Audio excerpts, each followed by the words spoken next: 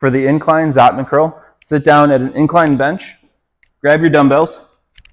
You're gonna sit back all the way onto the bench with your arms hanging straight down towards the floor, palms facing forward. First, you're gonna perform a normal bicep curl. Bring your hands up to your shoulders without your elbows coming forward. At the top, you're going to pause, switch your hands to a palms down position, and then take three to five seconds to return all the way to the start.